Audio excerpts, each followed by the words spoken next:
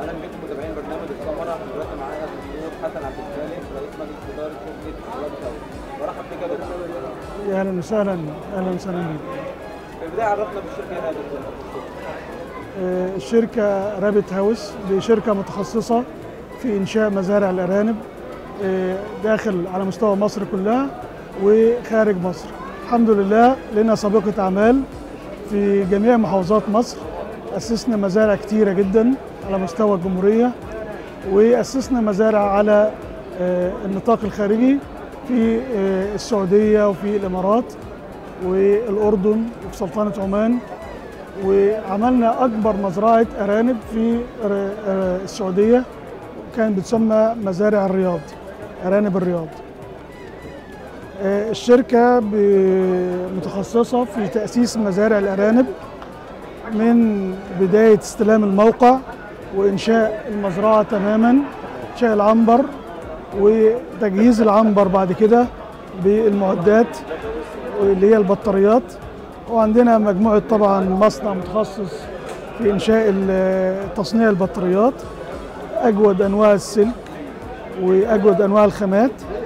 إيه، طبعا في جلفنة في electrostatic البطاريات. السلالات يا دكتور بتبقى موجودة عندكم برضه ولا؟ الحمد لله عندنا طبعا آه، متخصصين في سلالة ال V-line أو خط ال V-line. آه، ده يعتبر من أجود أنواع الأرانب اللي موجودة في مصر حاليا. اسمه ال V-line.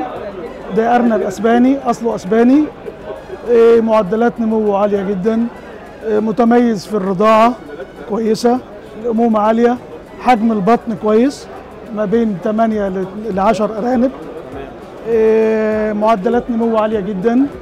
آه، بصراحة يعتبر من أفضل السلالات اللي موجودة حاليا في مصر. الأمهات من السلالة دي بتنتج كام يا دكتور كام متوسط عدد حجم البطن من 8 ل 10 أرانب في البطن. الأرنبة ممكن تجيب متوسط لو اشتغلنا على الإنتاج المكثف ممكن توصل ل 10 بطون في السنة. متوسط إنتاج الأرنبة يعني كإنتاج حتى شبه شبه مكثف آه، ممكن توصل لحد من 50 ل 60 أرنب في السنة. يعني حضرتك شركة رابط هاوس بتاسس المشروع لو حد حابب يعمل مشروع الأرانب؟ طبعا الحمد لله ولنا سابقة أعمال كبيرة جدا سواء داخل مصر أو خارج مصر الحمد لله. أنا بشكر حضرتك جدا يا. الله يبارك فيك يا رب الله يكرمك. ربنا يبارك فيك ربنا يبارك في حضرتك. متشكرين جدا.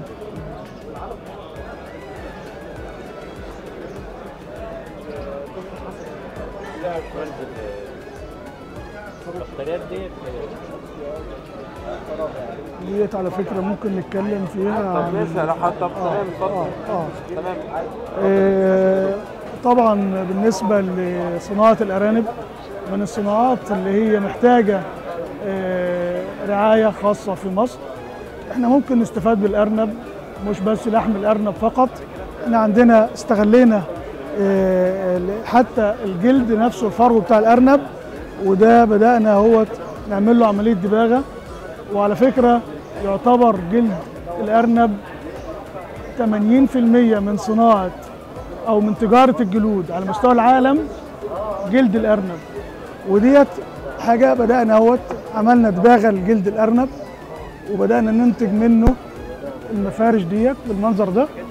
كذلك لو بصينا على الجهة التانية دي ده جلد أرانب معمول لها عملية دباغة ومتصنعة بالمن- بالشكل ده بالمنظر دوت. ده شكل والجلود دي حضراتكم بتاخدوها مثلا من حد عملت له مزرعة وعنده إنتاج فبتتفقوا معاه ده بنتفق مع بعض المجازر اللي موجودة وبناخد منهم الجلدة متوسط سعر الجلدة بدون دباغة في حدود 2 جنيه. وإحنا على استعداد إن إحنا ممكن ناخد آه، نستلم أي جلد أرانب بدل ما المربي أو المجازر أو يرموه ممكن نستفاد ونعمل معظمة للربحية سواء للمربي الصغير أو المربي الكبير. وناخد منه جلد الأرنب آه، بعد السلخ مباشرة حتى لو جمده بدون دباغة وبدون أي حاجة خالص ممكن ناخده منه ب 2 جنيه. آه، ويتعمل طبعا بنصنع بالمنظر دوت بيعمل له عملية دباغة. والجلد ده على فكرة بنصدره لمعظم البلاد الأوروبية. صدرنا منه لأسبانيا وصدرنا للصين وصدرنا لإنجلترا وكم دولة أكتر من كم دولة على مستوى أوروبا. لأن فعلا آه، 80% من تجارة الجلود على مستوى العالم آه، جلد الأرنب. فنتمنى إن إحنا ممكن إن إحنا يعني لو أي حد عنده إنتاج أرانب يا دكتور يقدر يتواصل معاكم ممكن يتواصل معانا وممكن نستلم منه جلد الأرنب بدل ما يرميه هيستفاد. ممكن سعر الجلد 2 جنيه في الجلد الواحد. أقل كمية إيه مثلا أي كمية لو 50 جلده هناخدها. لو 50 جلده ممكن ناخدها إن شاء الله.